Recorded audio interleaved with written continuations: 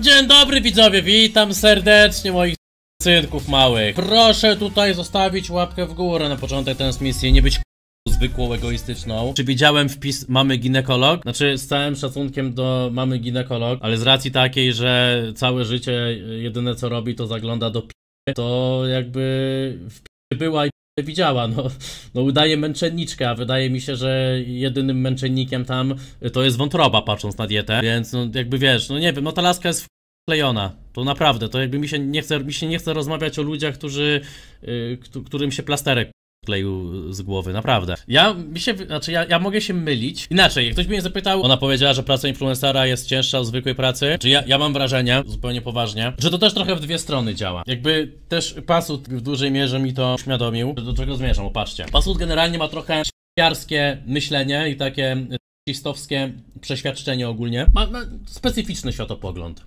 Z nim się można zgadzać, albo można się z nim nie zgadzać. Niektóre rzeczy, które mówi, uważam, że są racjonalne, niektóre są tak odklejone, że no, gdzieś tam czuć mocny powiew warszawskiego lifestyle'u. No ale spoko, no gościu ma jakąś tam swoją opinię w różnych kwestiach, okej. Ale mam wrażenie, że internet w dużej mierze tak działa, że przychodzą ludzie, Ludzie starają się wywierać presję na poszczególnych influencerach i jak influencerzy nie myślą tak jak lud chce, żeby myśleli, to ta osoba jest nienawidzona, jest obrzucana. Ja nie wiem dlaczego ludzie usilnie próbują usłyszeć ze, z, z influencera kłamstwo. Ja uważam, ja, ja wolę gościa, który gada totalne głupoty, który jest kompletnie odklejony, ale przynajmniej jest szczery, a nie gada tak jak opinia publiczna chciałaby usłyszeć. Teraz wrócimy do postaci Boxdala, bo ostatnio nawet jego była wieloletnia partnerka wycelowała w jego stronę armaty i zaczęła strzelać, wyciągając brudy na wywiadach w kontekście ich ośmioletniego związku. Madzia udzieliła nie jednego, a nawet kilka wywiadów. W pierwszym wspomniała o wyjściu na ścieżkę freak fightów i chciałaby się zaprezentować w konkurencyjnej gali. Ja wiem, jakie po prostu byłyby komentarze ludzi. No po prostu jak mu zawalczyła fejmy, to by było, a dobrze, wyprosiła sobie tą walkę albo ma mega gruby plink na, na kogoś. Więc tego bym chciała uniknąć. Uważam, że dużo i dla widzów samych byłoby zawalczenie w przeciwnej e, federacji. Nie wiem, mnie tak szczerze denerwuje to, co ona gada, naprawdę. Denerwuje mnie to. Bo była z Boxdelem, nie brakowało jej pieniędzy, żyło się fajnie, nie chciała się bić. Zerwała z Boxdelem, czy Boxdel zerwał z nią, pieniędzy zabrakło, założyła on Atencji zabrakło, zaczęła się wypowiadać negatywnie na temat Boxdela. Boxdel stwierdził, że odchodzi z internetu, ona chyba stwierdziła, to jest ostatnia szansa, żeby o Boxdelu coś powiedzieć i na wywiadzie zaczęła narzekać, że ten ją z chałupy wyrzucił, jak zerwali ze sobą. No jak można być z kimś 7 lat, a potem nagle prywatę wyciągać? Nie możesz się z kimś bratać, akceptować jego zachowań, cały czas twierdzić, że jest to super, bo masz z tego korzyści, a nagle jak się rozchodzicie, to zaczynać brudy wyciągać. To jest takie śliskie. Nie wiem, ja mam wrażenie, że dzisiaj jak znajdziesz człowieka, który ma zasady, to musisz go związać w kajdany i wrzucić do piwnicy, bo szansa, że na takiego drugiego trafisz nie istnieje. Musisz go trzymać tak blisko siebie, jak tylko się da. W drugim wywiadzie z rozmowy wynika, że e, ich stosunki po rozstaniu nie przebiegły tak gładko, jak mówił to Buxton, czyli że A to w ogóle zupełnie inaczej wyglądało. Nikt tam sam się wypowiadał na internecie, że kolorowo, w zgodzie i tak dalej, a realia zupełnie inne.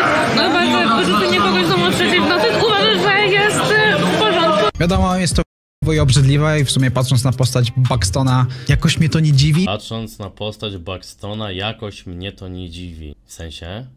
Kogoś o trzeciej w nocy, czy że gada głupoty? Nie wiem, jakby... Albo na, na razie nic nie powiem. Gdziekolwiek się o niej nie mówi, to jest to w kontekście byłej Boxdela, a teraz chodzi na ścianki i buduje kapitał na wyciąganiu związkowych brudów i prywaty, robiąc jeszcze podchody pod walkę we frikach. No jest to w... brudne! Jest to w... brudne! No naprawdę ja takiego zachowania kompletnie nie szanuję. Patrz, wyobraź sobie taką sytuację, stary. Czy dziewczyno, nie? Bo to prędzej się u dziewczyn zdarza. Wyobraź sobie, że poznajesz w tym momencie bogatego faceta. Jesteś z nim 7 lat. Wiesz co trzeba zrobić przez te 7 lat, jak się jest się mądrym człowiekiem, inteligentnym człowiekiem? Próbować zdobyć wiedzę, w jaki sposób osiągnąć sukces finansowy, bądź próbować zbudować ten sukces finansowy za pomocą też swojego mężczyzny, żeby obie strony miały z tego jakieś gratyfikacje finansowe.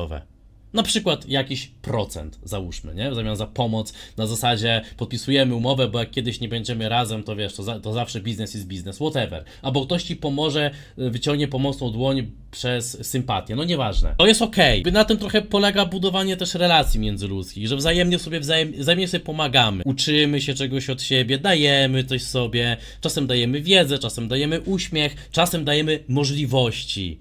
I z możliwości trzeba korzystać. Jest okej, ale nie jest okej w momencie, w którym z kimś jesteś nie korzystasz z możliwości bycia obok tej osoby, więc w momencie, w którym się rozstajesz, to uważasz, że jest to twoja ostatnia deska ratunku i napi tę osobę jak na najgorszego i nawet jeżeli okazałoby się, że w związku drugi człowiek był to ja uważam, że jeżeli ty jesteś kimś 7 lat i potem mówisz o tym, bo ci nagle zaczęło to przeszkadzać po 7 latach, jak się rozstaliście, to jesteś takim samym jak gość, o którym w tym momencie mówisz. Tak, od rozstania wywleka na niego jakieś dziwne brudy. Jeszcze jej sposób patrzenia w kamerę sugeruje, jakby to było robione pod publiczkę.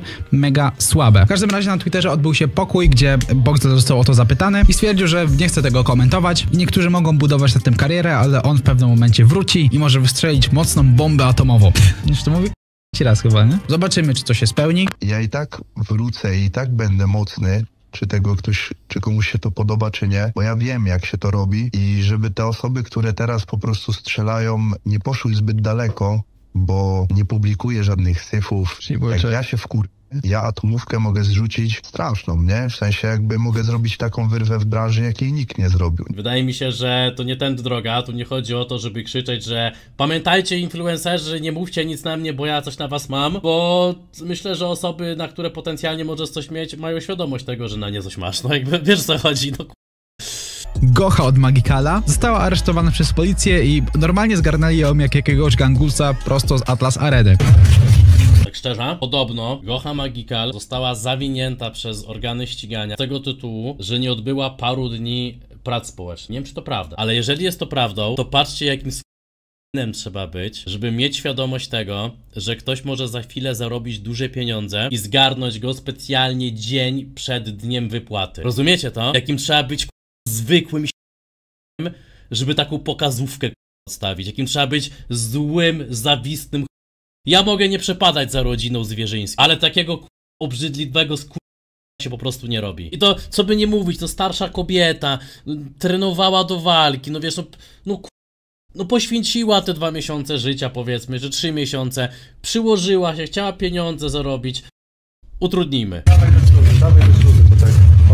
Prawdopodobnie chodzi tutaj o nieodrobienie prac społecznych, które miała zrobić za swoje przewinienia prawne. Zatrzymaniem Gochy pojawiły się ciekawe cyrki, czyli jeżdżenie na komisariat i trzymanie kartki Oddajcie Gochę. E, 50-letnia kobieta e, Małgorzata Zwierzyńska, Gocha Magical, została e, zabrana Ej, a widzieliście komentarz w ogóle Stanowskiego do tego wszystkiego? to też jest mocne. Schreiberowa stała parę miesięcy temu i pisała listy do prezydenta miasta, żeby odwołać Galę Cloud z tego tytułu, że bije się tam Gocha Magikal, która jest.